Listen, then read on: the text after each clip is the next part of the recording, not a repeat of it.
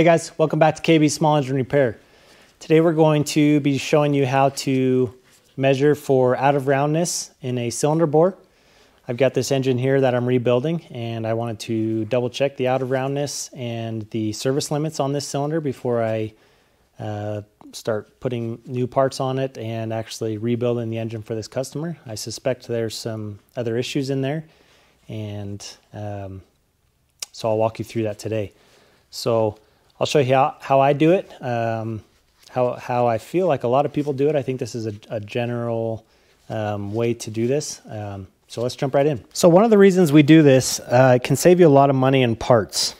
If you get a, a customer brings you this engine per se, uh, says, hey, I, I think it needs a new set of rings. You bring this engine in, throw a new set of rings on, take do a whole tear down, put a new set of rings on, put it back on, and it's doing the same issues or having the same problems that's a lot of wasted money in parts and labor. Um, so while you've got it tear, torn down, why not just do a couple quick, simple measurements? Uh, make sure it's all within spec, uh, all within the service limits, and save yourself a lot of headache, um, which is why we do this. So today, we are going to use a few different tools. I personally use a telescoping gauge. This is a Mitutoyo. It's a pretty high quality uh, measuring tool. Always also you'd be using a micrometer. The width of the cylinder bore, this is a two to three inch micrometer. They make them in inch increments, so uh, zero to one, one to two, two to three, and three to four. Um, that's the set that I have. They may make different sizes. Um, and then a piece of paper. So how how I do this, how how uh, a lot of people do this. I think this this how I learned this was from a, a Kohler technical school. Um, so I think this is pretty well recognized. But you measure the top, bottom, or excuse me, top, middle, and bottom, both on the x and y axis. Um, the thrust and the non-thrust axis is what they call it. Um, so you, you take two, me two measurements, X and Y, both the top, middle, and bottom, and mark those down, and then uh, we'll go from there. So take your telescoping gauge. Again, they I have a big set of these. This is a uh, two and seven eighths to three and a quarter inch or whatever. Um, if you don't know how these work, you can look it up. But um, they spread out, and then as they go in, you, you can go in and then you tighten them up at the bottom. So once it goes in, tighten the knob at the bottom, and then it stays that way. So I know that's a little bit hard to, to see, but let's go right in and do it and start doing some calculating. So on the bottom, if you know, um, there's, depending on the size of the cylinder, there is some virgin territory on the bottom of the cylinder. Uh, the bottom of here, you're probably, we're about an inch. There's about an inch of virgin territory. And that is where the cylinder does not, um, does not touch, does not rub, um, does not use um, when it's running. I wish I could show you, but it'd be hard to see. Anyways, there's still a perfect crosshatch in the bottom um, inch of this cylinder. So you don't want to measure there. That's that's not going to help you at all. Um, so you want to be maybe a quarter to a half inch above that. So just make sure not to measure any of that virgin territory. The point of this is to measure where the wear is of this cylinder. So make sure this telescoping gauge is flat level. Once you've got it locked into place, dip it down one way so you don't push in. There's our first measurement. Bring it over to your micrometer. I have this little micrometer stand which kind of helps a lot. You can put it in a vise or other things. Let that ratchet a couple times, lock it into place. And so because this is a three to four inch micrometer, we are at three. So we're bottom we're at the bottom thrust. So we're at three, and we are at.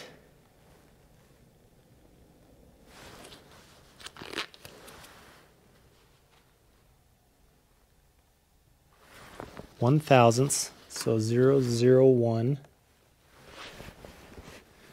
And you come up here. If you don't know how to use a micrometer, there, you can watch some YouTube videos on it or whatever. There's several different styles.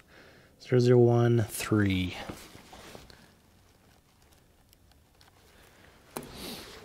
So I already know there's an issue on this because this particular engine, um, the specs are um, the cylinder bore should be a minimum of 2.990 and then a maximum uh, service limit of 3 three inches, 3.000. Um, and that was 3.0013. Um, so we're already out of specs on this one, which is kind of what I expected. But so now let's do the middle thrust.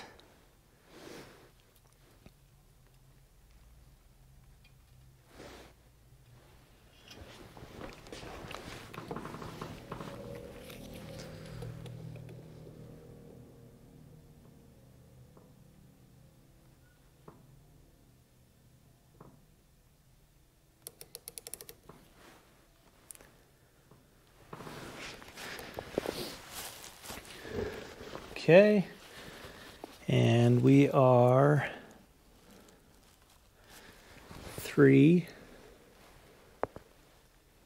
point zero zero one two. And I'll show you these measurements in a second when we're all done. I'm just trying to get these measurements all taken. And then again, you don't want to be at the very top just slightly down below.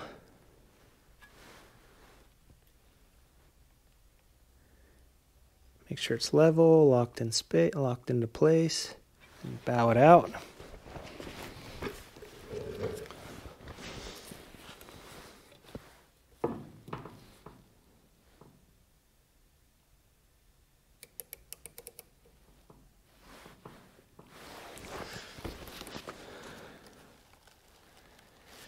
We are three zero zero two. So this this cylinder's also got a taper. Can touch base on that for a second. Zero zero two three. Okay, so the thrust axis is finished. Now let's go to the non-thrust or the Y. Uh, I believe it's Y. I can't remember which one is X and Y, but I just call them thrust and non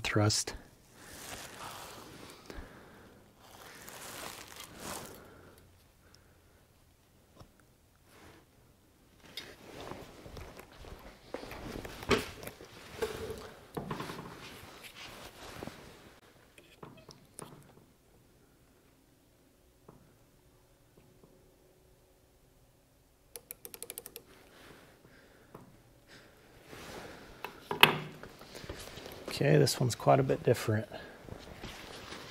So this one we are three.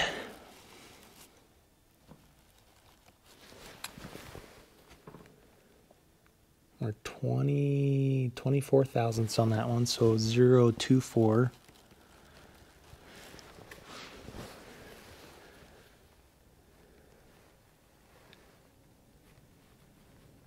Seven.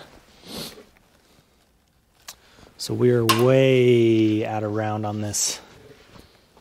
Just just what I expected. This engine was covered in dirt, debris. I mean, I had to scrape it off. So probably got overheated, warped. Um, who knows what? But this engine is 26 years old.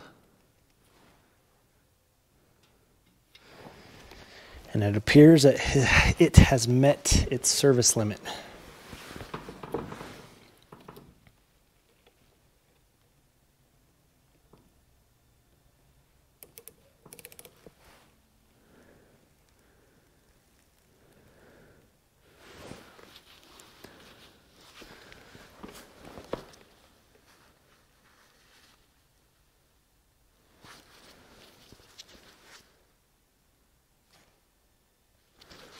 I didn't do that one right. Did I? Can't remember.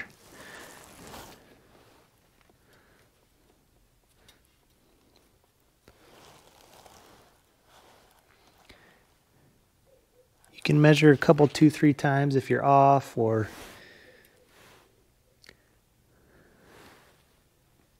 I'll have to go back and watch the video, see if I did that one right. This one's not sticking right. Maybe my thing is sticky.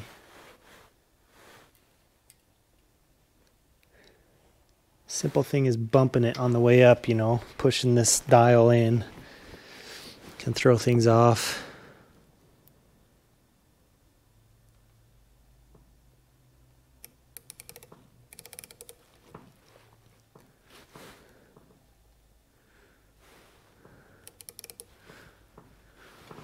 Okay. Was the middle, so three point another 24 thousandths, so zero two four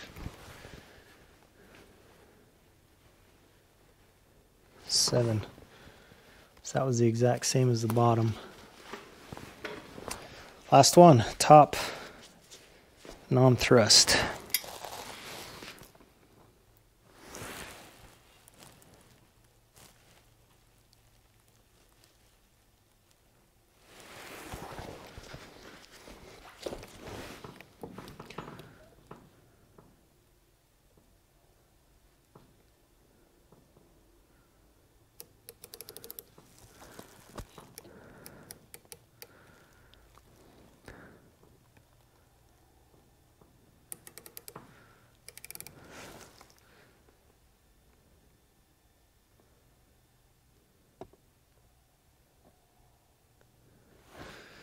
Keep screwing that up.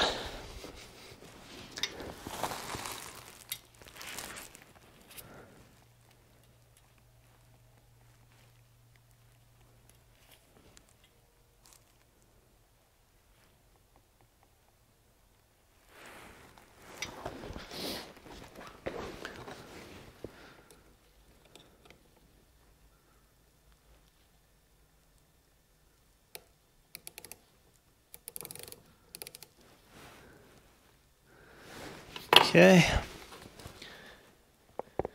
So 324. And we are at, wow, 7 thousandths. 7 ten thousandths.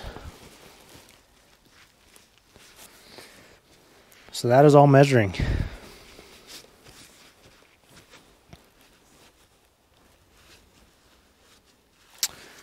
So let's go over to the bench and I'll show you how to figure out the out of round. All right, we're back. So here are my measurements. Got them all written down. So top, middle, bottom, the non-thrust and the thrust axis. So how do you find out of round? How do you find the taper? So out of round, you subtract the thrust from the non-thrust. So let's do that real quick. Uh, I know you won't be able to see it, um, but I'll I'll just do it real quick. You can take these numbers if you want and do it with me. Uh, just pause your screen and, and take that and do it with me real quick. Um, otherwise, I'll just do it real quick right here. So, um, so let's do the top first. So 3.0247 minus 3.0023. Boy, so the out of round on the top is 0.0224. So 22 and a half thousandths. Am I saying that right?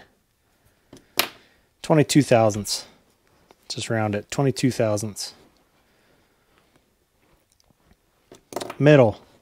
3.0247 minus 3.0012 out of round is 0 0.0235. 23 and a half thousandths, 24 thousandths if you're rounding up. Bottom, 3.0247 minus 3.0013. 0.0234 23 thousandths. You know what the, the manual says? The manual says if it's out of if it's out of round three thousandths, 0.003, then the cylinder needs to be rebored. needs to be rebored. Your choice up to 10, 20, or 30 thousandths of an inch. Can't do 10 thousandths. It's already over 10 thousandths. Can't do 20 thousandths. It's already over 20 thousandths. If we had to, if we rebored this engine, we'd have to rebore it 30 thousandths of an inch. Um, then we'd have to put a new piston in it with oversized rings. Um, that would be our only option to save this engine. Um,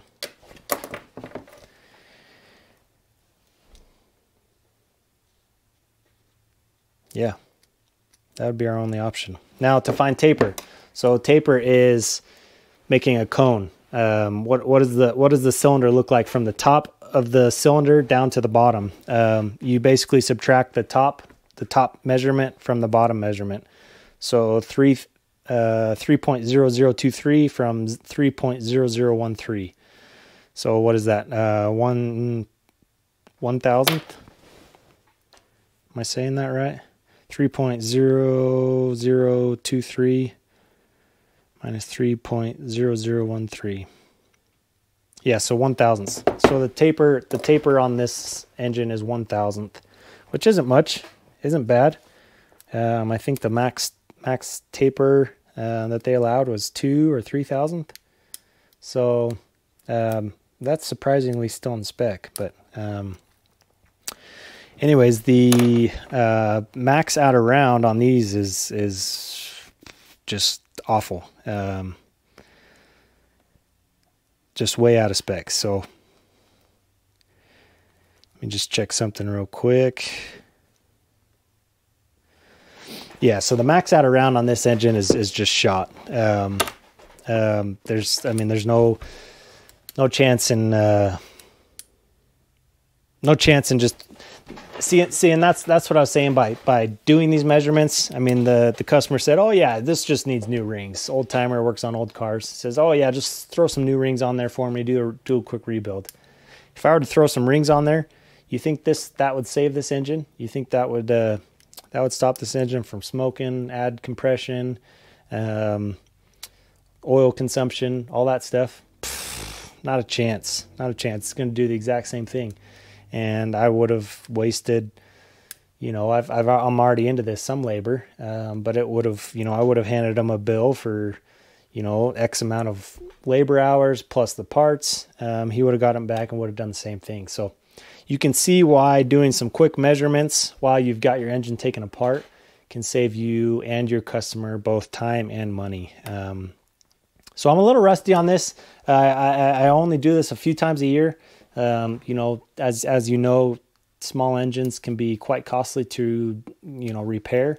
A lot of people just want to do um, an engine swap or they don't want to fix it. So, um, you know, I only do a few few engine rebuilds a year. So, um, I'm a little rusty on this. Need to need to stay on top of it and brush up on it. But um, hopefully this this video was helpful. Hopefully the information is helpful. Um, if it was, please hit that thumbs up. Uh, please subscribe hit that notification bell so you get all my videos um, when they come out. I try to try to upload every week uh, a couple times a week. Um, and if you have any questions or comments leave them in the comments below. Let me know what you think of this video. And uh, as always make a choice to have a great day. Thank you all for watching